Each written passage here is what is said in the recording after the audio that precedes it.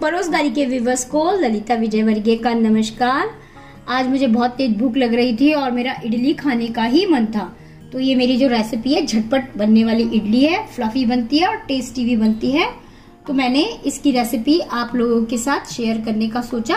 तो मैं इसको बनाने जा रही हूँ और ये जो प्रपोर्शन मैंने तैयार किया है, उससे चार लोगों के लिए इडली काफ़ी रहेगी। तो चलिए हम इसे बनाना शुरू करते हैं। फ्लफी और झटपट इडली बनाने के लिए मैंने ये रवा ले लिया है। कोई सा भी रवा ले लें आप। ये मैंने रोस ये पोहे का पाउडर ले लिया है। इसे मैंने पहले से ही पीस के रखा है और मैं इसमें मिला रही हूँ। कितनी सामग्री मैं ले रही हूँ, किस क्वांटिटी में, ये मैं आपको कैप्शन में डाल दूँगी। ये रोस्टेड चना पाउडर है और ये भी मैंने पहले से ही पीस के रखा हुआ है। ये मिला दिया मैंने। ये मेथी का पाउडर है, बिल्कुल फाइन और इसे भी मैं पहले ही पीस के रखती हूँ। क्योंकि जब भूख लगती है तो इंतज़ार नहीं किया जाता और ये इतनी जल्दी बनने वाली इडली है कि बस फटाफट बन जाएगी, पलक झपकते। ये मैंने सोडा ले लिया है, ये मैं मिक्स कर रही हूँ इसके अंदर, और ये मैंने साइट्रिक एसिड ले लिया है, ये मिक्स कर रही हूँ मैं इसके अंदर, और अब मैं इसमें मिलाने जा रही हूँ नमक टेस्ट के अकॉर्डिंग ये ड्राई जितनी भी हम सामग्री ले रहे हैं, वो हमने मिक्स कर दी। और इसमें डाल दी और अब मैं इसको मिक्स कर लूँगी। बहुत अच्छे से इसे मिक्स करना है।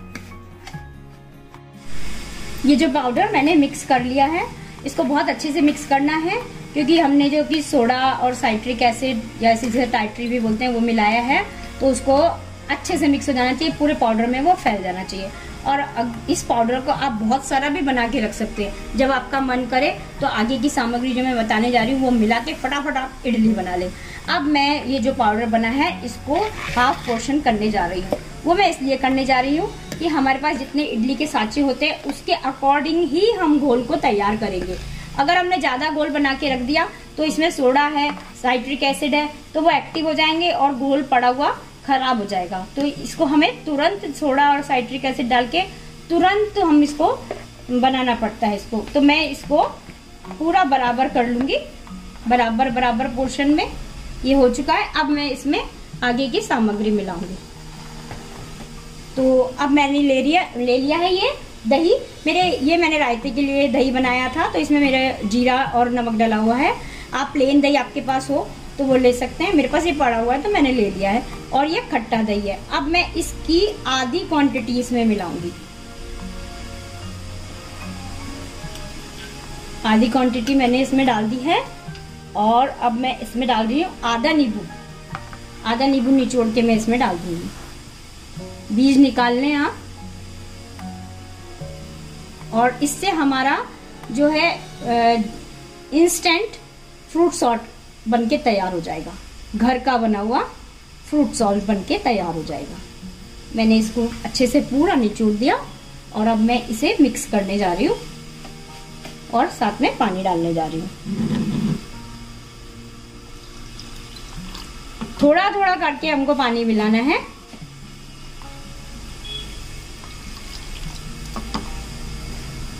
मिक्स करें और पानी डालें। और हमें इसे रनी नहीं बनाना है, थोड़ा गाढ़ा ही रखेंगे हम।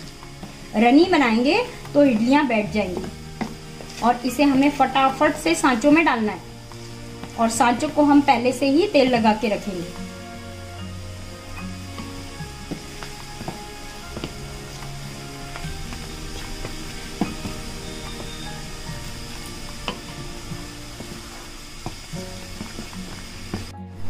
हाफ़ पार्ट मैंने जो पाउडर का कर लिया था, उसमें मैंने 400 हंड्रेड पानी मिला दिया है और इसे अच्छे से मिक्स कर लिया। देखिए, कितना अच्छा फ्लफी हमारा बैटर दिख रहा है और ये ग्रीस करे हुए मैंने इडली के मोल्ड ले लिए हैं।